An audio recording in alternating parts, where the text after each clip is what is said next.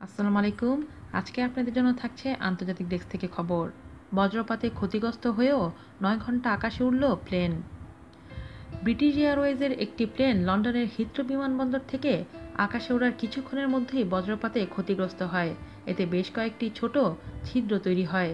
তবে প্লেনের পাইলট বুঝতে পারেননি এর ক্ষতির মাত্রা। সে কারণে ক্ষতিগ্রস্ত প্লেন নিয়েই নয় ঘণ্টা উড়ে ভারতের চেন্নাইতে পৌঁছায়। ব্রিটিশ এয়ারওয়েজের বিএ পঁয়ত্রিশ নম্বরের নন স্টপ ফ্লাইটটি আকাশে উড়ে বাইশে জুলাই, আর ওড়ার কিছুক্ষণের মধ্যেই তা বজ্রপাতে ক্ষতিগ্রস্ত হয়। ব্রিটিশ এয়ারওয়েজের কর্মীরা জানতেন উড়ন্ত বিমানে বজ্রপাত কোনো অস্বাভাবিক ঘটনা নয়। যাত্রীবাহী বিশাল বিমানগুলোকে মেঘমালার ভিতর দিয়ে যেতে হয়।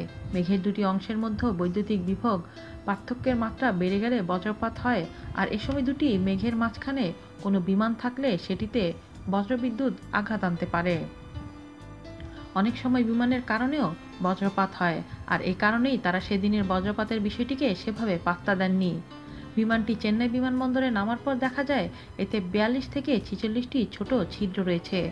বজ্রপাতের কারণে তৈরি হয়েছে এসব ছিদ্র। এ কারণে বিমানটিকে সেখানে মেরামতের জন্য রেখে দেওয়া হয়।